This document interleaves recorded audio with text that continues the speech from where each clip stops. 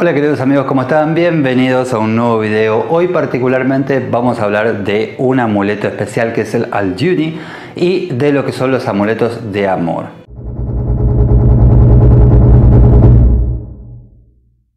A ver, traje este amuleto principalmente porque me resultó muy especial, muy curioso, porque justamente, a ver, era para atraer el amor de una pareja, es decir, para que una persona se enamorara de vos, pero fíjense en todo el proceso que tenía, porque se dice primeramente de que se lo grababa puntualmente en ayuno, es decir, por la mañana y en ayuno, y debía ser particularmente grabado con saliva, es decir, con tu propia saliva lo grababas y por otra parte tenía que ser en la mano derecha. Y después justamente con esa misma mano tenías que darle la mano a esa mujer para marcarla y que energéticamente fuera tu mujer.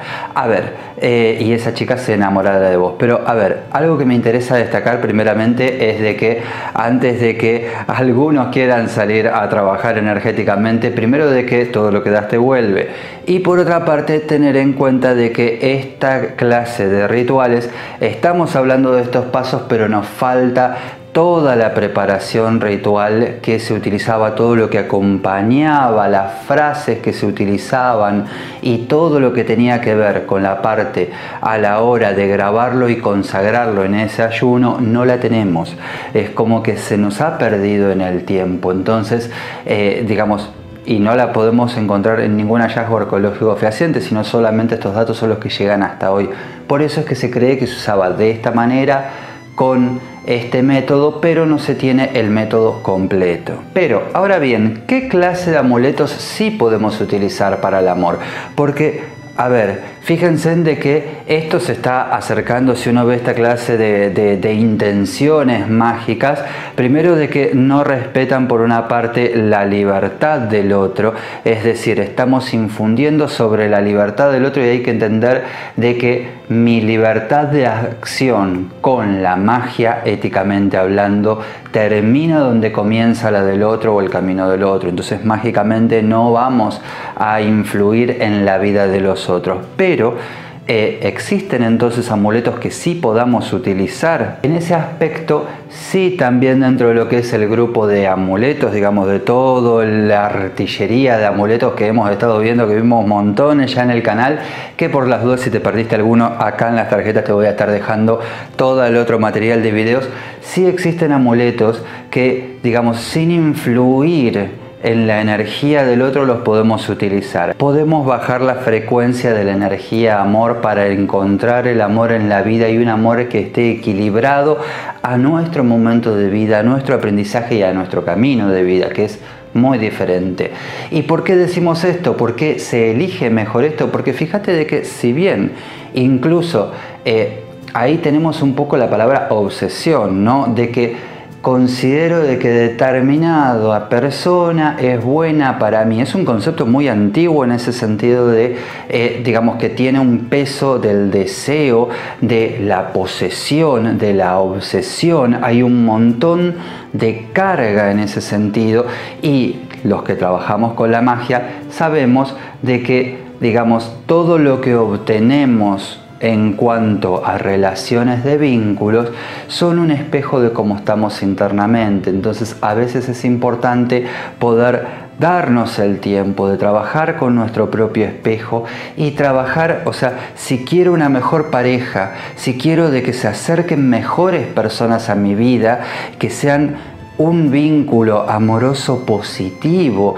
enriquecedor, que sea un gran disfrute y que tenga todo aquello que yo amo de la vida en un compañero o compañera. Bien, entonces para lograr eso, justamente esa otra clase de amuletos anteriores que vimos son el peor camino a tomar porque el mejor camino a tomar es el del crecimiento personal. Si yo crezco, para que el otro me respete, me tengo que respetar. Para que el otro me ame, tengo que amarme. Y algunos me van a decir esto, este, tengo que amarme a mí mismo. Eh, bien, parate frente al espejo Y si podés armar, amarte primero en tu cáscara y después vamos a armar tu esencia. Y tu esencia en cuanto a los dones, a las cualidades, en cuanto a la pasión, la alegría ante la vida, reírte, disfrutar y darte también ese cariño, ese cariño propio de amor propio que después fomenta la voluntad, fomenta la fortaleza y justamente así nos mostramos ante el mundo con esa completud ante el mundo nos mostramos y es desde la forma de que esa otra persona que está ahí para nosotros, que va a ser para nosotros, nos va a percibir. Entonces me parece mejor forma trabajar desde esta área, desde el hecho de decir, vibro, crezco en vibración de frecuencia y solo acepto porque me amo, entonces si yo pude crecer, hay personas que van a poder crecer y que van a estar a la altura y con las cuales voy, van a ser las únicas que voy a permitir que ingresen a mi vida y a compartir conmigo porque me merezco otro ser que crezca por igual.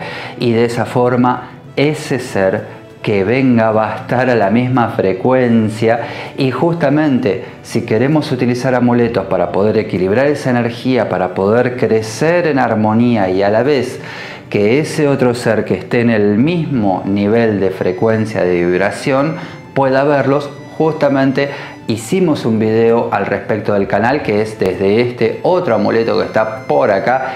Eh, te voy a recomendar que mires ese video para poder trabajar con amuletos que sean un poco más equilibrados y no cosas como esta que vimos recién.